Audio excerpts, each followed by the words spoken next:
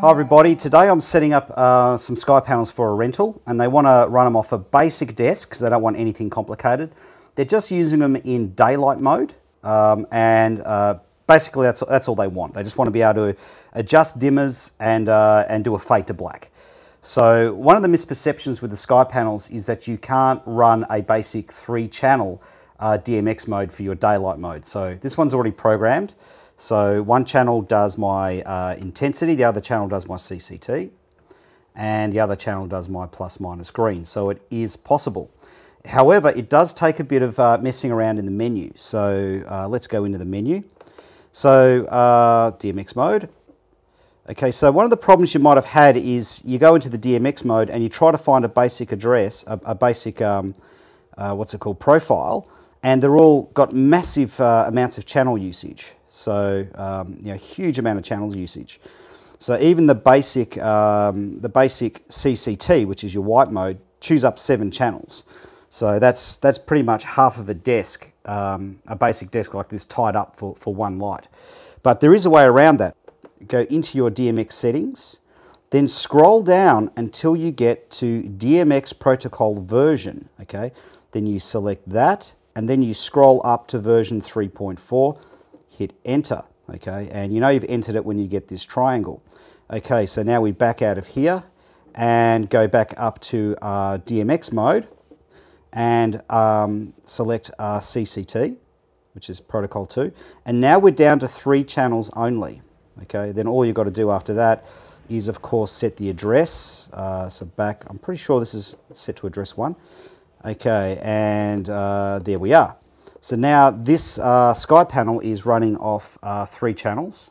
So there's my brightness, channel 2 is my CCT, and channel 3 is my plus minus green. Okay, so now I can get uh, up to four Skypanels on a 12 channel desk using that mode.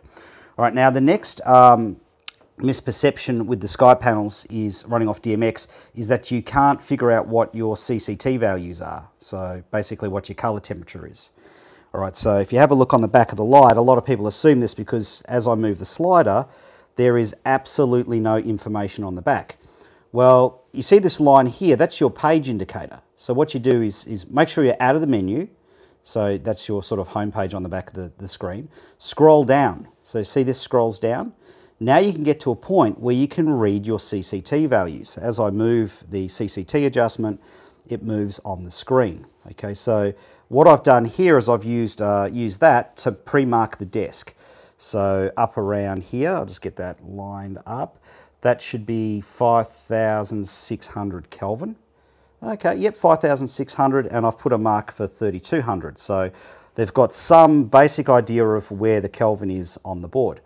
Now, the next misperception is uh, basically you can't do a fade to black. So if I wanted to to fade uh, both of these units uh, to black, um, if I did it with the master, basically what happens is all of the channels get affected. All of the channels values change.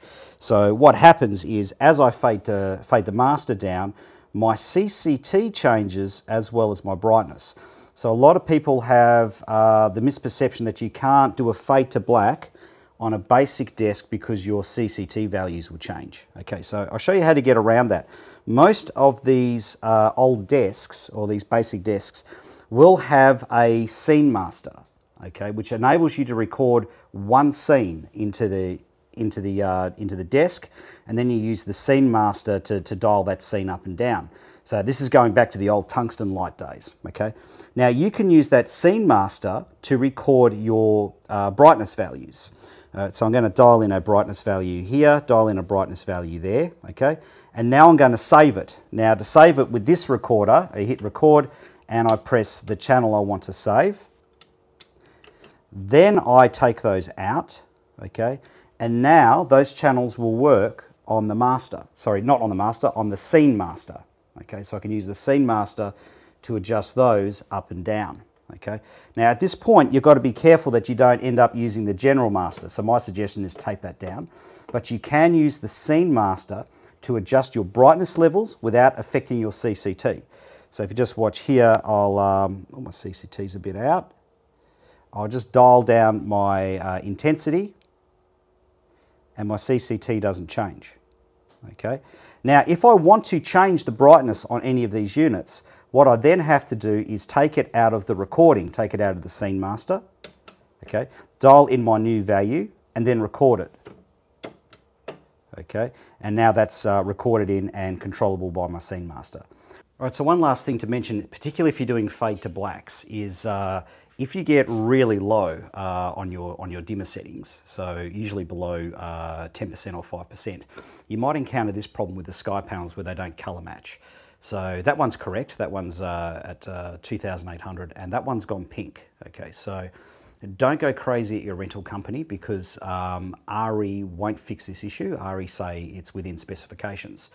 So uh, here's how you get around this issue, and it only happens uh, right down the bottom. Okay, go into the menu system, select uh, light control, hit enter, then go into special modes, hit enter, and then go into low end mode, hit enter, and select on. Okay, now what that mode does is it gives you better color rendering in your low ends. Okay, so now you can see that the, the units actually match because that one was already in low end mode. So that's something to bear in mind if you're doing a fade to black, you might need to go into low end mode. But there is a catch um, with low end mode, and that is, um, as you can see, it is not high speed flicker free. So I'm just using the rolling shutter on my, uh, on my mobile phone here to illustrate that it's not flicker free in this mode. Now, in terms of flicker issues, I've only had issues at um, uh, 120 frames a second on the uh, reds and 200 frames a second on the um, on the ARRI. Uh, what's their camera called? The ARRI Alexas.